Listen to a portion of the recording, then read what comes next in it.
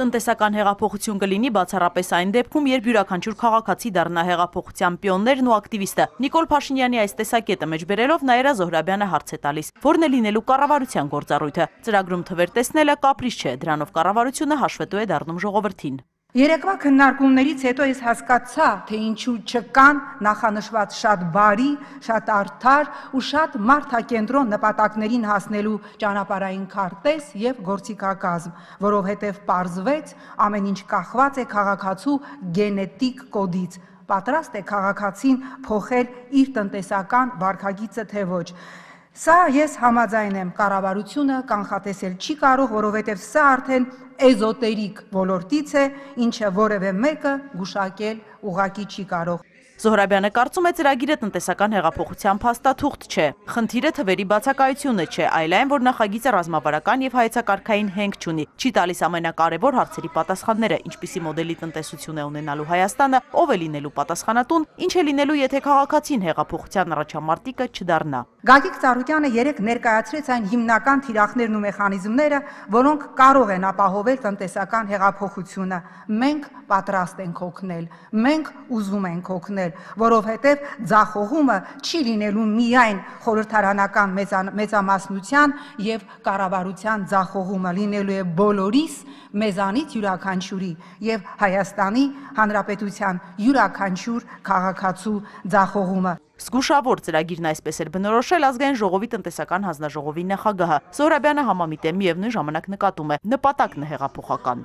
Աշխարհում ինձ հայտնի չեն զգուշավոր եւ վախվորած հեղափոխություններ այդ թվում տնտեսական, որովհետև գոնե ինձ ու իմ նման բազմաթիվ մտածողների համար զգուշավորությունը հեղափոխության, ցանկացած հեղափոխության հականիշն է։ Վարչապետի ելույթը էմոցիոնալ էր, սակայն Լուսավոր Հայաստանի падգամավորը կառավարության ծրագրի ներկայացումից առարկայական պատասխան չի ստացել։ Բերել եք Կարեն Կարապետյանի կառավարության նախագծին մոտ նախագիծ կառավարության ծրագրին մոտ նախագիծ եւ դուք անցած տարի խստագույնս քննադատում եք այդ ծրագիրը անվանելով այն կենաց։ Քաղաքացին ինչպես պետք է տնտեսական հեղափոխություն իրականացնի վարչապետից հետաքրքրվեց Գևորգ Պետրոսյանը։ Մենք այստեղ կառավարության ծրագիր ենք քննարկում թե քաղաքացիական պարտականությունների օրենսգրքի նախագիծ հարցրեց падգամավորը։ Սոված մարդը ո՞նց անի տնտեսական հեղափոխություն։ Ասում եք մարդը նախ եւ առաջ իր գլխում պետք է հաղթարի սովը եւ աղքատությունը։ Հետո նոր իրականում կներեք դուք հանդուրժողականության եւ փոխադարձ կամեցողության, փոխադարձ հարգանքի մտնոլորտում ասում եք հեղափոխություն արենք։ Հիմա պայմանականորեն խնդրում եմ չանznավորեք, համարեմ ես եմ ձեր տեղը կամ դուք եք ստեղ։ Բայց եթե ձեր քույրը կամ ձեր եղբայրը գա ասի ես աղքատ եմ, դուք այդպեսի պատասխան կտաք, ասեք գնացեք գլխում հաղթարեք աղքատությունը, հետո իրականում տեսնենք ինչ կլինի։ Դուք ավելի շատ բան ասեցիք երկու օրում, քան գրված է ծրագրում, եթե այդքանը ասացիք, գրեիք, ասաց Պետրոսյանը։ Է գրեիք, դուխով ապրեք, Վերջը լավալելու դուք խնդրեմ չունեք։ Ոչ մի ուրիշ բան չգրեիք, հարգելի պարոն Փաշինյան։ Պատգամավորը կարծում է հնարավոր է չգրել ու անել, բայց նաև հնարավոր է չգրել ու չանել։ Կառավարության ծրագիրը շտկումների կարիք ունի, համոզված է Միքայել Մելքումյանը։ Այն ինչ որ այստեղ հիմնական թեզը հնչում է Հայաստանի տնտեսության ապագայի վերաբերյալ,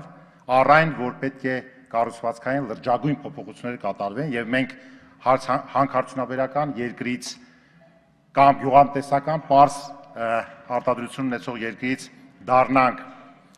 բարձր տեխնոլոգիական երկիր, պետք է հստակ հաշվարկ կատարենք, թե քաղաքական հեղափոխության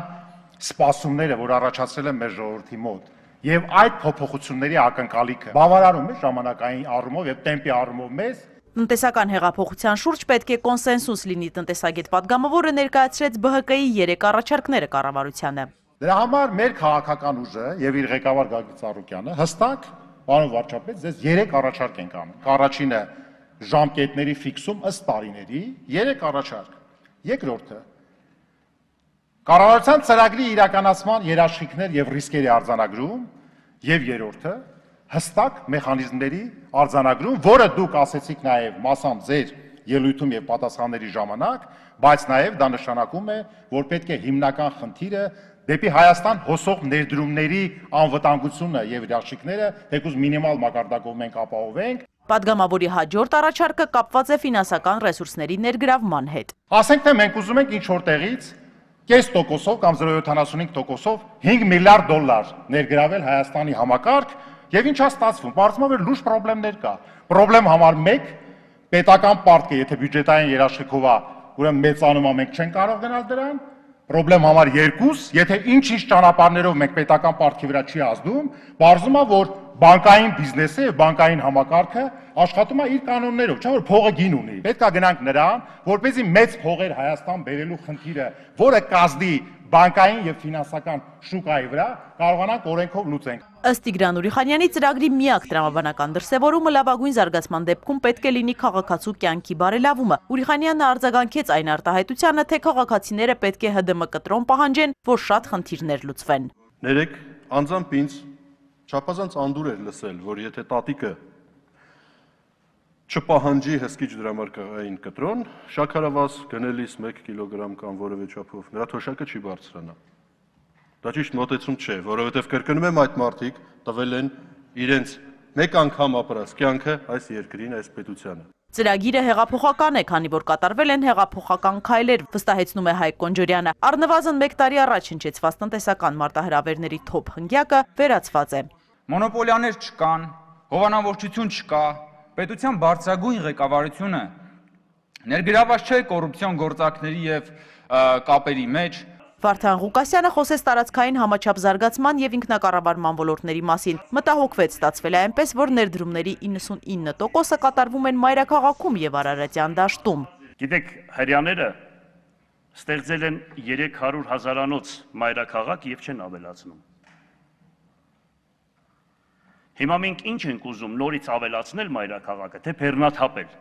Շաքե Իսայանը կրթության ոլորտի միջոցով խոսեց մեխանիզմների անբավարար ներկայացվածության մասին։ Ծրագրի կրթությանը նվիրված հատվածում ոչ մի տեղ ազգային բառը գործածված չէ։ Հետևաբար չկա նաև դրան միտված որևէ նպատակ ու տեսլական։ Կառավարության ծրագրի բավական կոշտ քննադատությունից հետո ազգային ժողովի նախագահը հայտարարեց, կառավարությունը պատրաստակամ է քննարկել բոլոր խմբակցությունների գրավոր առաջարկները։